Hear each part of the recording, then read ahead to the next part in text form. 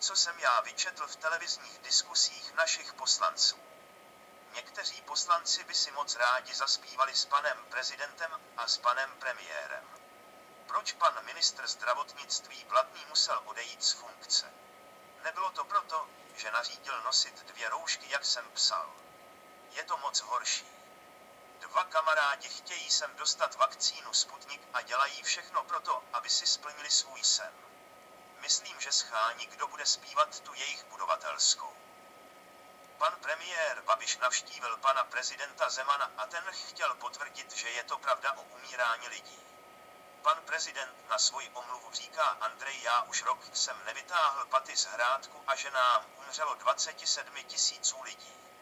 Andrej, to se ti teda moc nepovedlo. Proč se nedají očkovat, nevím, asi se bojí. My bychom očkovali, ale lidi nechodí. Třeba vynesl někdo na světlo naši dohodu o Sputniku. Pro pána boha to snad ne. Já to tajím pořád říkám lidé, Blatný nechtěl splnit vaše přání o Sputniku. Hodíme to na Blatního.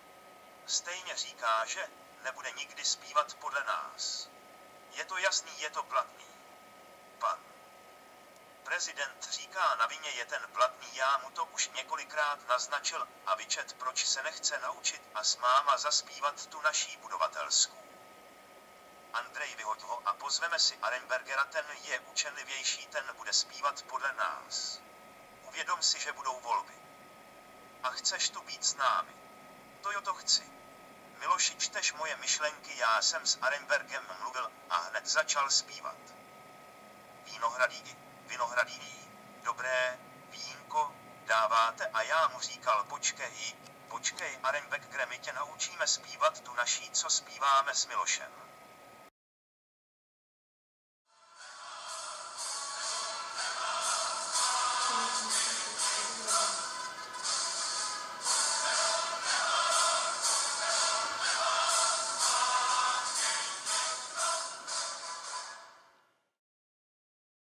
Pane ministře, nevím, jestli by nebylo lepší si zaspívat ty vinohrady, vinohrady.